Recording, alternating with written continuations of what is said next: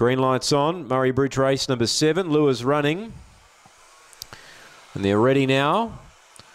Set racing. Spring Ignite third away. Good speed here. Terrific Janine. Spring Ignite found the rail. Deep out Lingamolly progressing well. Fourth placing fired up Finn from Contour. Deep out was Paramount Bell. Corborn Neo and Corborn Donna. Getting clear Lingamolly now. Led by two. Fired up Finn. Contour runs on. They turn. Contour got the rails run. Deep out fired up Finn. Fired up Finn and Contour driving to the line. Fired up Finn just from Contour. Uh, Alinga Molly ran third and Corborn Neo fourth from Corborn Donna.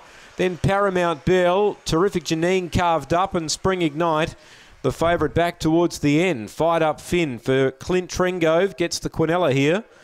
Had the reserve contour as well, hard against the rail. He got a beautiful run through, but fired up Finn, had the momentum up.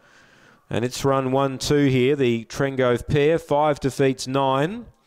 Eight third, Alinga Molly. Eight is third.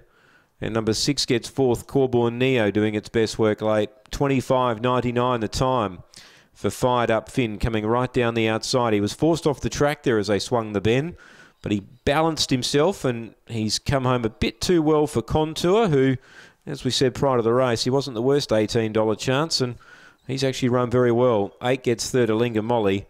And number six grabs four, three quarters the winning margin by four and three quarters. That's after race number seven. Race number eight will be the last leg of the quaddy. That'll be up next.